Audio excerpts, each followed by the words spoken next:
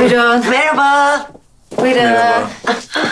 Merhabalar efendim. Hoş geldiniz. Merhaba. Merhaba. Buyurun. Nasılsınız efendim? Merhaba. Merhaba.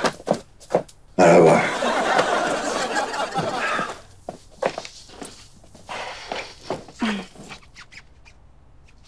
Yangına körükle geldiniz. Jetlag Özlem Hanım ve doğrucu Sertaç Bey. Körük kim? Sertaç Bey. E niye bakıyorsunuz öyle? Yalan mı söyleyeyim yani şimdi? Evet, ben bir, yani e, siz gelmeden önce tam önce biz bir şey gerildik de yani o yüzden öyle diyor Emine. Kusura bakmayın. kusura Rica bakmayın. ederim. Rica ederim. Ne oldu? Kim kızdırdı Haluk Bey'i böyle? Sizin kadar olmasın ama havuç düzenli aralıklarla Haluk Bey'i kızdırır. Çocuklar işte oluyor öyle şeyler. E, bir şey soracağım. Sizin balayında olmanız gerekmiyor mu? Ay o konuyu ne olur hiç açmayın Meltem Hanım ne olur. Açalım hayatım. Bütün açıklığıyla konuşalım. Onlar da bana hak verecektir. Hayırdır? Efendim biz balayına gidemedik çünkü Sertaç'a vize vermediler. Aa ne güzel. Keşke bizim siteye de vizeyle girip çıksalar Meltem Hanım. E şimdi bir dakika Sertaç Bey niye bize vermesinler ki? Niye versinler Meltem Hanım? Niye versinler ki? Formlara abuk subuk şeyler yazmış. Abuk subuk şeyler yazmadım hayatım. Bütün gerçeği tüm açıklığıyla yazdım. Ne yapayım yalan mı söyleyeyim? Ben şimdi anlamadım. Siz bir yerde çalışmıyor musunuz? Yok çalışmıyor. Çalışıyorum efendim. Sadece bir şirkete bağlı çalışmıyorum. Freelance, serbest yani. E, Şimdi arkadaşıma rica ettim. Bir şirkette çalışıyor görünmesi gerekiyor ya. Evrakların içine koyalım diye. Oradan bir yazı aldık. E, adam sormuş burada çalışıyor musun diye. Yok çalışmıyorum demiş. Ne yapayım hayatım yalan mı söyleyeyim? Adamın gözünün içine baka baka kandırayım mı? Rezil mi edeyim ülkemi? Çalışmıyorum ki o şirkette. Ay tamam bari sigortalı olmadığını söylemeseydin. Ha onunla mı göstermelik yapmıştınız? Evet onu da rica ettiydik. Kağıtların arasına koyalım diye. Yok sigortalı değilim demiş. Efendim adam bana sorunca gerçekte bu şirkette sigortalı mısınız diye ben de tabii yalan söylememek için hayır sigortalı değilim dedim. İnsanların vize almak için katlandığı şeylere bak. 40 takla attırıyorlar insanlara. Yani adam gidecek, gezecek, gelecek. Yani. Yani sanki onların ülkelerine çok meraklıyız. Haluk'cum sonuçta geri döneceğini kanıtlaman için burada bir işinin olduğunu, sabit bir işinin olduğunu göstermen lazım. O yüzden önemli. Zaten sigorta da senin burada sabit bir işinin olduğunun göstergesi. Ya kimse senin beyanına inanmaz. Yalan söyleyecek değiliz kızım. Bizde söz ağızdan bir kere çıkar. Tamam da adamlar seni tanımıyor ki. Ayrıca günde kaç kişiyle görüşme yapıyorlar. Senin bütün bu beyanlarını yazılı olarak da bu belgelerle kanıtlaman lazım. Sertaç Bey burada takılmış. Evet efendim. Sonra bana bankada gerçekten bu kadar paranız var mı dediler. Ben de yo hesap kabarık görünsün diye Özlem bana yolladı dedim. İşte bunu demeyeydin iyiydi. Şimdi adam sana soruyor bu para senin mi diye. Benim de sus. Yani ayrıca senin param benim param diye bir konu mu var? Niye adama söylüyorsun ki para benim değil diye? Ne yapayım hayatım yalan mı söyleyeyim ama? E söyle Sertaç bir kere de söyle. Bak senin yüzünden balayına gidemedik ya. Balayına gidememek yalancı olmaktan, insanları kandırmaktan daha iyidir hayatım. Özlem Hanım, bakın şimdi burada Sertaç Bey haklı. Yani e, yalan söylemek zaten kötü bir şey. Ama e, karşınızdaki bir insan da değil. Yani devlet kurumunu kandırmaya çalışmak çok korkunç. Hani Allah korusun başınıza çok daha büyük bir şey gelebilirdi. Çok daha büyük bir bedel ödeyebilirdiniz. Yani bence Sertaç Bey en doğrusunu yapmış yalan söylemeyerek. Keşke en başından o evrakları koymasaymışsınız. Evet Meltem Hanım. Ben zaten istememiştim. Özlem ısrar etti. Vallahi o evrakları o dosyanın içine koyarken ellerim tirim tirim titredi. Sonra dayanamadım zaten. Patır patır döküldüm gerçekleri. Ay İşte insanları böyle davranmaya mecbur bırakıyorlar. Ne yani bir yerde çalışmıyorsa? Ha? İlle de bir yerde sigortalı olmak zorunda mı? Ha? Ya gi- adam balayına gidecek, gezecek, dönecek. Bankada o kadar parası yoksa mesela kime ne? Tamam haklısın, haklısın. Ama her ülkenin de kendine göre bir prosedürü var. Sen gidip o ülkeyi görmek istiyorsan kurallara uyacaksın. Bu kadar uğraşacağıma otururum evimde televizyon seyrederim daha iyi. Niye yurt dışına gidiyorsunuz ki? Gidin Ayvalık'a. Döviz de hem yurt dışına gitmemiş olur. Yani bir kere her şey çok pahalı yurt dışında. Türk parasına çevirince oo aç kalırsınız vallahi. Öyle. Aman iyi. Kırmış. Gel. Şimdi Tamam, gel, tamam, gel, tamam, gel, tamam, tut kolumu. tamam Kol- tamam. Kolumu tut. Tamam tamam bir şey yok. Tunacığım ya. Beğendin mi abicim yaptığını? Ne oldu oğlum sana? Yan bağlarında zedelenme varmış. Birkaç gün atel takacakmış. Üstüne de basmaması gerekiyormuş. Basma Tuna. Basmıyor, basmıyor. Basma basmıyor. basma basma Tuna. Yavaş. Ah ya ah Gel ya. girsene koluna Tuna'nın. Ha, istemiyorum, istemiyorum Gönül. Kendim şey yaparım ben. Sizin ne işiniz var burada? Hayırdır inşallah? Aa, misafiriniz varmış. Ya rahatsız etmeseydiniz. Siz balayında değil misiniz? Niye böyle biraz baş başa vakit geçirmiyorsunuz Özlem Hanım?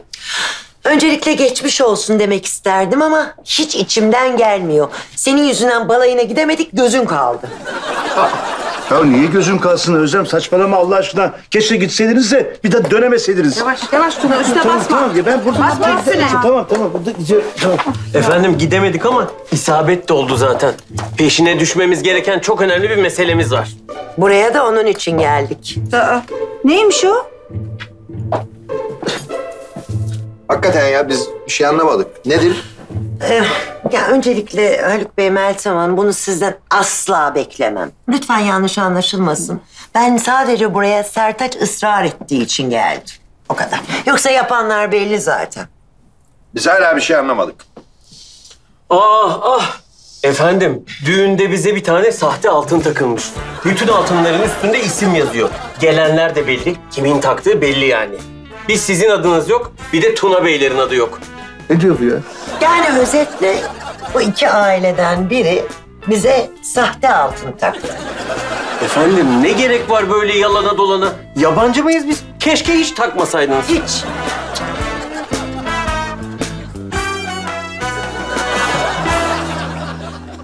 Ben her şeyden önce şu konuya e, açıklık getirmek isterim ki gittiğim hiçbir düğünde taktığım takıya ismimi yazmam. Tabii canım. O ne öyle? Hani ha, herkes görsün bakın biz tam altın taktık. Çok ayıp. He. Çok ayıp ya. Hakikaten ya. Gösterişten başka bir şey değil. Biz de hayatta yazmayız. Yazmadık da zaten. Ben kesin yazarım. E, Yani yazmasak da bizim düğünlerde biri mikrofonu eline alır. e, Dayısından e, geline bir çeyrek altın der mesela. Öyle. Gönül Hanım, hayırdır siz pek bir sessizsiniz. Efendim siz taktıysanız hiç kıvırmayın Tuna Bey gibi lütfen. Ya kardeşim sen niye durup durup bizi suçluyorsun ya? Biz deli miyiz sana sahte altın takalım? Biz takmadık kardeşim. Evet. Sahte altını ben taktım. Ana Ama dur anlatayım. Anlatayım. Yanlışlıkla oldu. Merve'nin tiyatroda kullandığı altınlar vardı orada. Onlarla karıştırdım. Yanlışlıkla size sahtesi gitti. Ya tabii mutlaka öyledir eminim. Gör Tuna, gör. Ben konuşunca kötü oluyor. Gör. Kalk Sertaç. Kalktım hayatım. Bir gerçeği daha ortaya çıkardık çok şükür. İçim rahat gidelim. Buyurun. Aç. Şöyle geçeyim ben.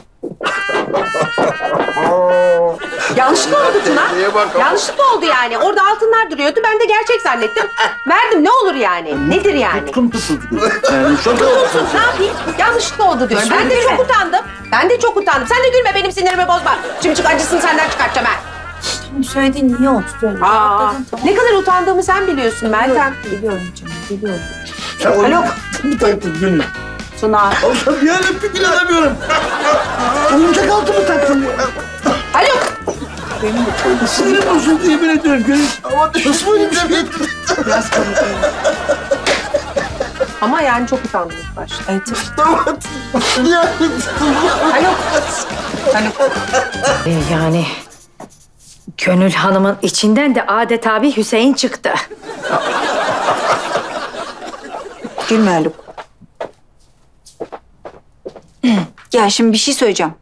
Ee, Özlem Hanım'la Sertaç Bey evlenmişler mutlu mesut tamam. Yani o konumuz değil. Bizim çok önemli bir konumuz var konuşmamız gereken. evet. Havuç kafa daha gelmedi. Hele bir gelsin onun kafasını kıracağım. Üf, Haluk o da değil. Tuna bu halde nasıl gidecek sunuma? Roleplay yapması lazım. Çok az zaman kaldı. Bir saatim var. Ya ne yapacağım bilmiyorum ya. Nasıl sunacağım, nasıl yapacağım roleplay'i hiçbir fikrim yok ya. Dominant teyze düşünsün. Aramızdaki en kurnaz tilki o. Sinirlendirme beni Haluk. Bak sen getirdin Tuna'yı bu hale. Çözümü de sen bulacaksın. Evet Haluk. Ya takma kafana sunumu munumu. Sen yat dinlen. Bulaşıkları da kim yıkıyorsa yıkasın. Ne dedin sen? Yat dinlen dedim. Gönül. Kalk kalk kalk kalk. bu süper bir fikir geldi. Kalk. Dikkat et, dikkat et. Haluk yardım et. Yardım et. Haluk yardım et. Ne oldu? Gidiyoruz yürü yürü gidiyoruz. Gidiyoruz. Bir dakika. dur. Nereye gidiyorsunuz Gidiyoruz. ya? Bir şey Gidiyoruz. gelmiş aklına. Aklıma süper bir şey geldi. Gel. Ne geldi lan? Ya gel Gönül hadi gidelim bir an önce gidelim. Biz götürelim derdim ama şimdi Emre gelecek. Onunla konuşmamız gereken çok önemli bir şey Ne oldu? Ne önemli? Anlatırım sonra. Hayırdır inşallah. Anlatırım Hadi anlatırım. hadi biz Tamam, gidiyoruz. sonra konuş. Hadi Gönül Git çabuk. koluma. Tamam tamam. Basma basma diyor. Tamam. Oğlum üstüne basma. Tamam abi tamam tamam. Sen dokun. Meltem şu kapıyı açar. Ben geldim. Haluk, Neredesin sen? Saat kaç? Bir hoş geldin yok mu baba ya? Sana hoş geldin yok. Havuç istersen sen hiç girmemiş gibi yapıp hemen kaçıp gidebilirsin evden. He anladım. Ortam biraz gergin galiba. Ben şöyle geçeyim. O zaman size iyi bir haber vereyim. Ortam yumuşasın. Ha? Vallahi en kaliteli yumuşatıcı bile bu gergin havayı yumuşatamaz. İyi, ben söyleyeyim o zaman haberi. Anne, benim şöyle, e, departmanım da direktörüm de değişti. Artık Arda Bey'le çalışmıyorum. Neden? Arda Bey'i sevmemiş miydin? Yani yok, sevmemiştim demeyelim de çok iyi anlaşamıyorduk. İyi oldu böyle. E, onu çok iyi biliyoruz anlaşamadığınızı.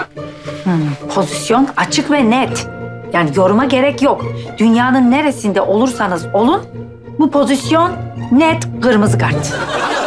Emre, çalıştığın iş arkadaşlarını, patronlarını sevmek zorunda değilsin. Anlaşmak zorunda da değilsin. Ama saygı göstermek zorundasın. Hele ki yaşça senden büyüklerse. Biz seni böyle mi yetiştirdik lan? Haluk sakin biraz, biraz kibar. Kibar falan olamam. Bu nasıl bir terbiyesizlik ya? Ne mi oldu? Sen benimle dalga mı geçiyorsun? Soğuk ya. Yağları falan hep donmuş. Sen benim doymuş yağ oranımı yükseltmeye mi çalışıyorsun? Lütfen git bunu ısıt öyle gel. Hadi. Ama yani anneciğim yani Ya şey, adamı- durup böyle görüldüğü gibi değil. Gerçekten açıklayabilirim ben. Öyle mi? Nasıl yani? Baba şöyle bak, e, bu... Konuşma! Emre, sen istersen bir an önce istifanı ver. Yani sonuçta orası benim senelerce çalıştığım şirket. Ne senin ne benim arkamdan kötü konuşulmasın. Ya anneciğim olay öyle değil ama hakikaten... Biz olayın nasıl olduğunu gayet iyi gördük. Koskoca adama emirler yağdırıyorsun. Baba öyle değil bak şöyle... Öyle mi? Öyle değilmiş. Ya- Yapma ya. Hakikaten öyle değil. Aa, Ayşegül Hanım arıyor. Efendim Ayşegül Hanım? Hayır, burada değil. Ne? Nasıl yani? Evet. Hı Tamam. O, o, o, oldu. Tamam sağ olun. Hoşça kalın. Hoşça kalın. Ne oldu? Haluk, Haluk, Haluk, Haluk. Yürü, yürü, yürü. oldu? Zeynep kayıp, Zeynep kayıp, Zeynep kayıp. Şey, ya. Kayıp, şey, Polis aramışlar mı? ara, polisi aramışlar. Ee, kamera kayıtlarından bakmışlar, kurumdan çıkarken görmüşler. Tamam hadi biz de çıkıp arayalım hemen o zaman. Hadi Hadi. gidelim bir yerlerde arayalım. Yürü. Belki de bir yere saklanmıştır. Evet, evet, saklandıysa nereye? Yani kurumdan çıkarken görmüşler. Haluk yürü, Aa şey, yürü, yürü. belki kafenin oraya gitmiştir. Ben gideyim oraya bak. Oradaki kediyi de sevmişsin. Fırla, fırla. Ben- Yürü, yürü, yürü, yürü. Geliyorum. Haluk anahtar, arabanın anahtarı, arabanın anahtar, anahtar.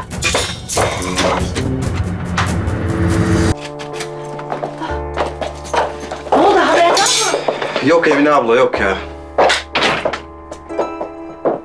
Bulacaklar, bulacaklar. Anneciğim üzülme anneciğim. Bak her yerde arıyorlar Zeynep'i. Bulunacak kardeşim ben inanıyorum. Üzme kendini hadi. Nereye gitti, nerede duruyor, ne yiyor, ne içiyor, üşüyor mu? Ya bir kere Zeynep akıllı bir kız. Bizim telefonlarımız da var. Telefonu olan birine gider ve bizi arar. Allah'ım sen iyi insanlarla karşılaştır. Amin ya Rabbim amin. Dur dur anneciğim.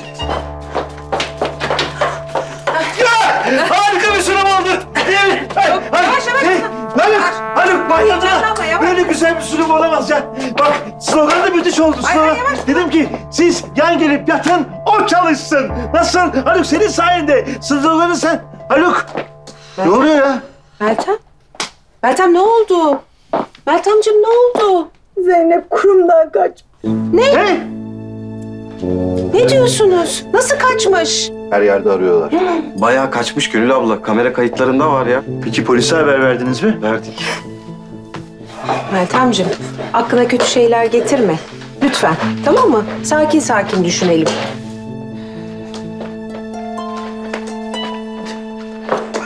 Yok yok, sakin olun, sakin olun.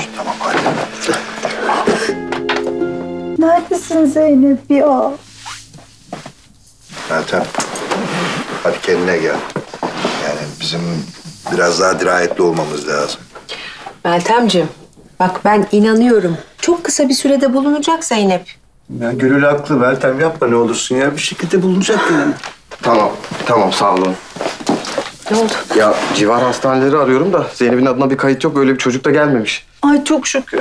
Bak iyi bir haber bu. Yani sonuçta başına kötü bir şey gelmediğini biliyoruz. Haluk hava kararmadan bulmamız lazım. Bu çocuk ne yapacak gece karanlıkta sokakta?